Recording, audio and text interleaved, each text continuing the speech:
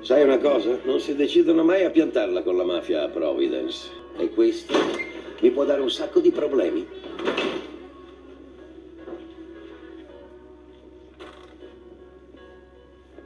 Quei due ragazzi che hai sistemato hanno conoscenze giù a Providence. Quindi sai che faranno? Si presenteranno con i loro conoscenti e ti uccideranno. E quanto è vero che sei nato, è quello che faranno. A meno che io non li fermi. Tu vuoi che io li fermi? Non lo posso fare personalmente. Dovrò chiedere al mio socio di perquisirti. No, no, a me non mi perquisisce un cazzo di nessuno. Contrabbando, figlio mio, levati le scarpe, forza. Seduto. Scarpe.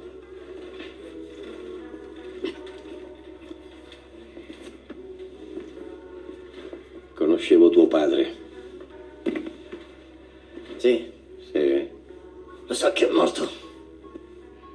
Oh, mi dispiace. Come se n'è andato? In piedi. Senza lamentarsi. Apri le gambe. Già. Era il suo problema. Chi ha detto che aveva un problema?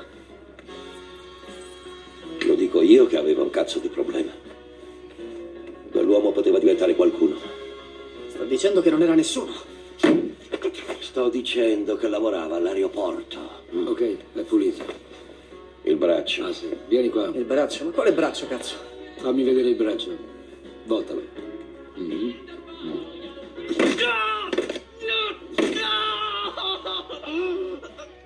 Lo sai che mi incuriosisce vederti girare in questo quartiere, ragazzo? È pulito. E se posso dire male del mio stesso ambiente, mi rattrista questa regressione.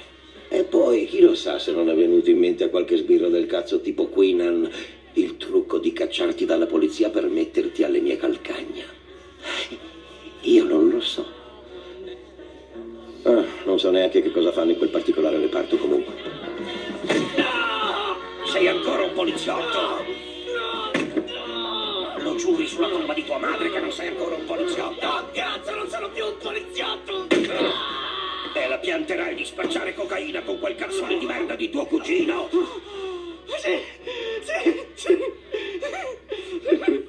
Va bene, va bene, ho capito. Sei a posto, adesso ti passo. Tieni, fatti curare la mano. Mi dispiace, ma era necessario.